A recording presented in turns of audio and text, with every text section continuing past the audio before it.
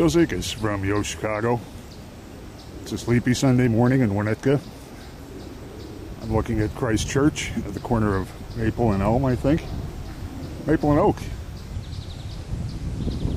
Panning down Maple Street and looking across at the Village Green. What am I doing here? I'm out chasing memories. Laura's memories. Laura lived here from 1976 to 1979 when she was a grade schooler going to Greeley School. She played in the playground that you see across the way. She remembers this as a park, not as the village square that was donated to the village by Charles Peck in 1869 when it was incorporated. But it was a park if you were a little girl back then.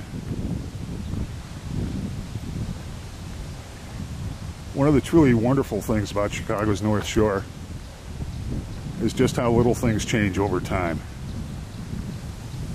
As I walk down Maple Street, I can't see it through the eyes of a little girl quite, but I know that what I'm seeing is what Laura would have seen 30 some years ago. Not much different from what the neighbors would have seen 50, 60, 70, even 80 years ago.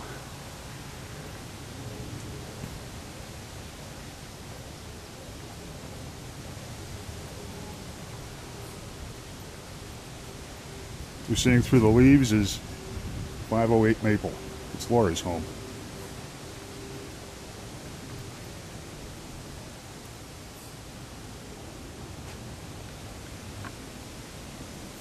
The home where she spent what she now recalls as the happiest days of her lives, her life. I'm hoping that she has happier days to come.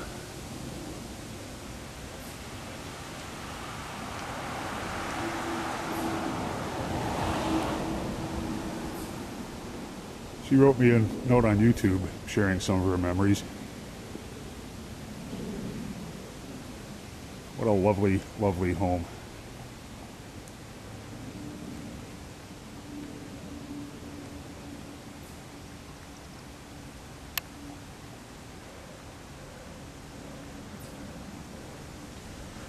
Across the way, the village green with the memorial to Winnetka's dead, who died preserving our freedom in various wars around the world.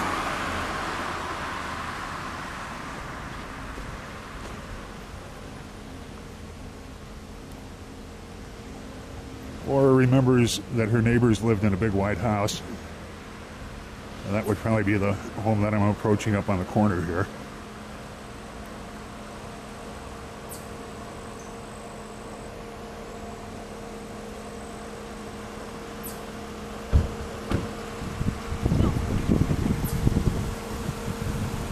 With this spectacular porch.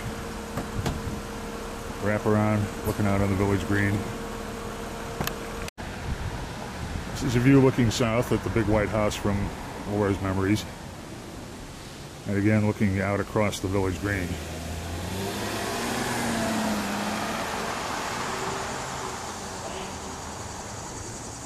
This is what is recalled as a hill. And I guess it is a hill if you're a grade schooler. And if you're a Chicagoan from the North Shore, where we really don't do hills very much.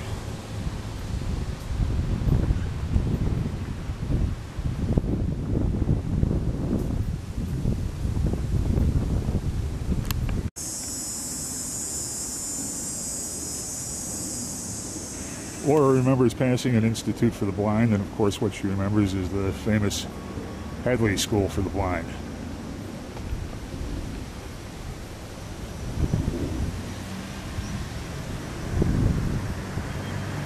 She walked up the hill to what was then the A&P. The A&P is gone, and there's more of a gourmet mid-sized supermarket in its place.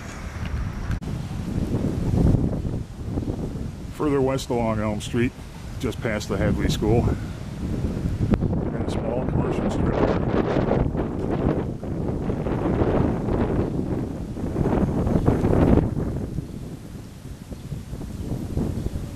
Laura remembers a pizza parlor that served a drink called the Green River.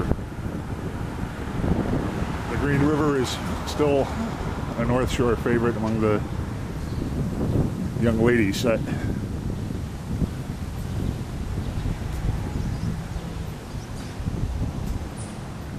it's the kind of thing that drives parents crazy.